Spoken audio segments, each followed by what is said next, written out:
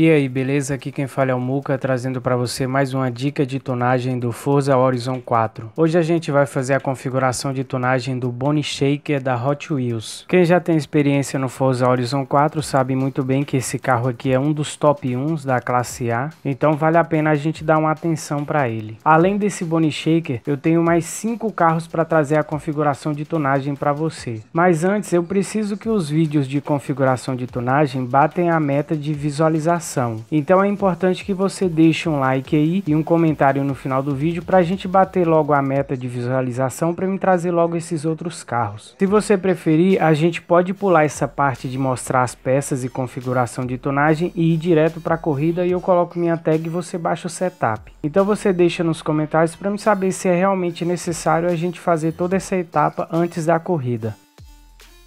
Estamos aqui na parte de oficina de aprimoramentos e a gente já vai começando aqui pela conversão. Troca de motor, eu estou usando o motor estoque. Troca de conjunto de transmissão, a gente sabe que é importante usar a transmissão 4x4 aqui no Forza Horizon 4. Aerodinâmica e aparência, para-choque dianteiro. Eu não estou usando para-choque de corrida porque ele já tem uma manobra muito boa, 7,9. Aerofólio traseiro, eu estou usando o modelo de corrida da Hot Wheels pneus e aros, composto de pneus. Eu estou usando o composto de pneu de rally porque ele me dá mais força G lateral do que o composto de pneu de corrida. Largura de pneu dianteiro. Eu estou usando o modelo Stock 205. Largura de pneu traseiro. Eu estou usando o 455. Estilo de aro.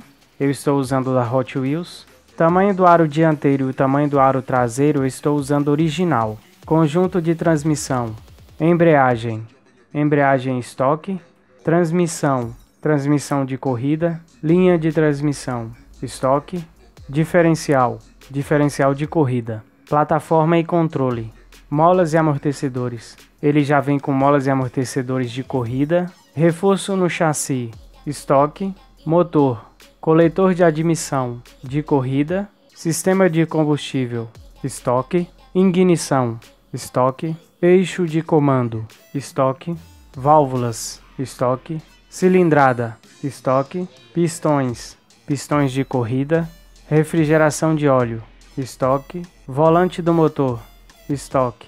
Certo, a parte de oficina de aprimoramentos a gente terminou. Agora a gente vai para as configurações de tonagem. Não se esqueça de deixar o seu like aí e um comentário no final do vídeo.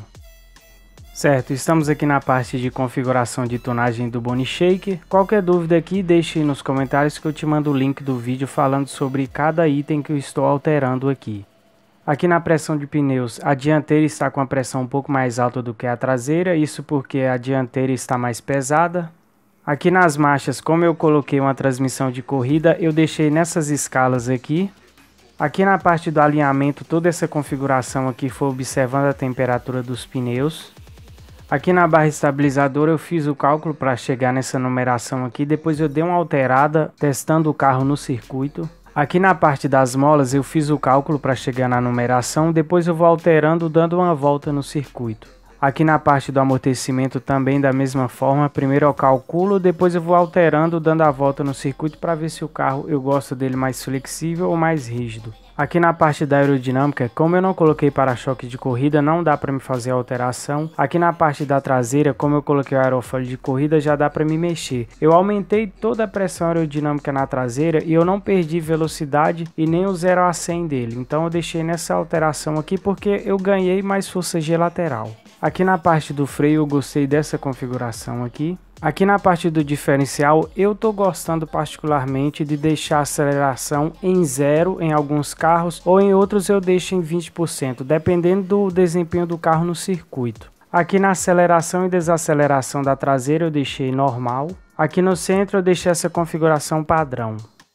Ok, terminamos essa parte de configuração de tonagem, agora eu vou procurar uma corrida online na classe A para a gente ver se o desempenho do carro é bom no multijogador. E não se esqueça, se você está curtindo o vídeo até aqui, deixe um like aí e se possível um comentário no final do vídeo.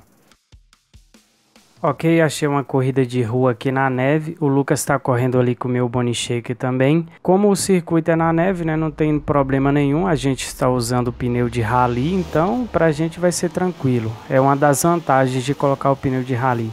Eu optei por colocar esse pneu de rally porque você ganha muita força G.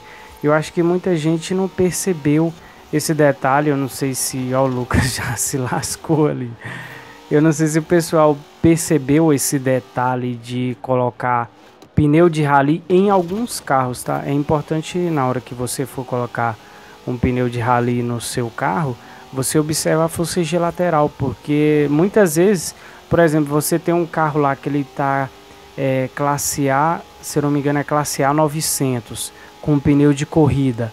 Às vezes você coloca um pneu de, de rally, ele cai para classe A é, 700, por exemplo. Aí dá para você colocar mais peças de motor e você ganha força G lateral, né? A gente sabe que força G lateral, quanto mais você tem, mais o carro fica grudado em curvas de alta e de baixa velocidade.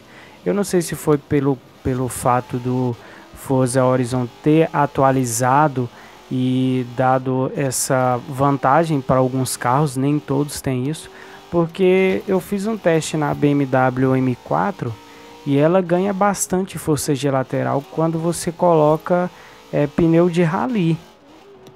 E eu vejo muito pessoal no lobby público que tem o Boni Shaker e não está usando pneu de rally é, tá usando pneu de corrida. E eu não sei se é porque eles não tinham observado esse detalhe ou se o jogo atualizou e, e colocou essa, essa vantagem em alguns carros. É importante você observar que nem todos têm essa vantagem. E, e esse carro aqui tem essa vantagem. Inclusive também o pessoal fala que esse carro aqui é muito bom, ele é top 1 é, inclusive em circuito misto.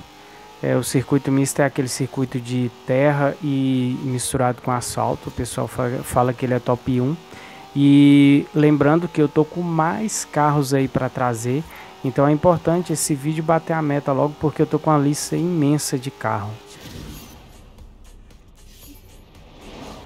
Ok, estamos aqui em outra corrida de velocidade. Essa pista aqui é favorável para esse carro, porque ele tem uma aceleração muito boa.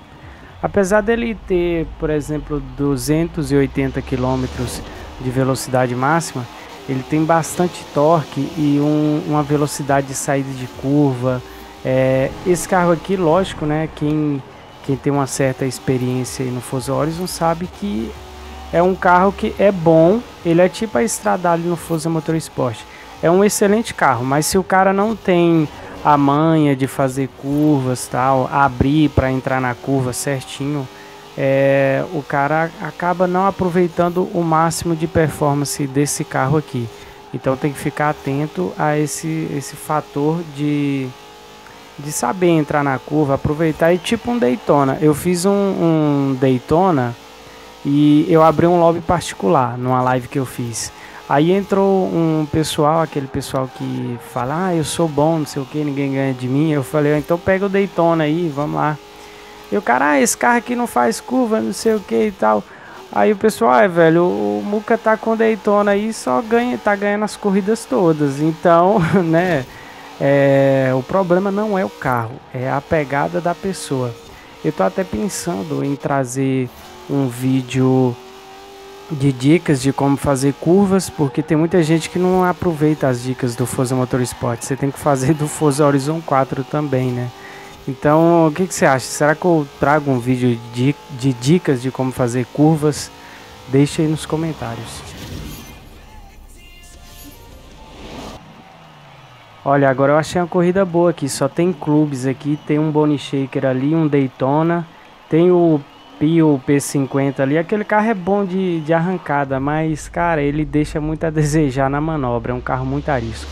Olha só, Daytona, Bonicheque, já dá pra gente ter uma ideia do desempenho do carro. Olha só o, o Pio ali, olha lá.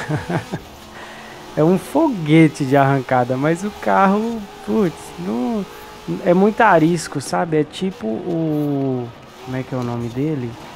É aquele carrinho também que tem no da BMW que tem no Forza Motorsport 7, eu esqueci o nome dele.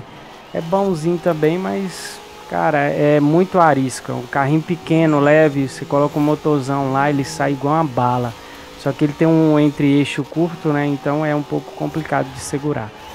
Aqui, esse cara que tá na minha, na minha frente aí, eu acho que ele não tá usando pneu de rally. Não dá pra me ver direito.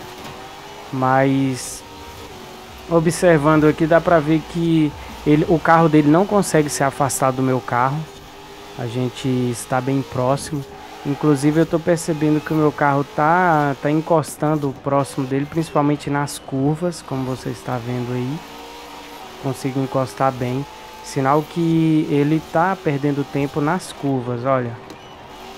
Eu consigo mergulhar melhor do que ele e na saída eu estou encostando. Então, meu filho, eu vou ter que mergulhar aí, que você está me segurando. Já estou lado a lado. Eu acho que ele está usando pneu de rally também, viu? Tá usando pneu de rally. Essa curva aqui, ó. E aí, vai ou não vai? Vai ou não vai? eu vou embora. Se ele encostar, aí eu abro para ele passar. Se ele encostar, ele passa. Mas se, pelo que eu tô vendo ali no mapinha ali, o meu carro tá abrindo. Tá indo embora, ele tá livre. De cara pro vento é outra coisa, né? Quando você tá de cara pro vento, vai embora. Olha só, na saída de curva, só de observar no mapinha ali, dá pra me ver que o meu carro sai melhor do que o dele. Bem melhor. De cara pro vento, né? Outra coisa, o carro vai embora. E você tá vendo aí, carro grudado, fazendo curva. Não tem problema nenhum, pneu de rally. Mais desempenho e mais força, beleza? Vamos até ver aqui o tempo de volta pra gente ver se é, se o meu tempo de volta for melhor do que desse Bonnie Shaker aí também. Quer ver? Olha lá, um segundo mais rápido do que o carro dele. Beleza? Até a próxima dica.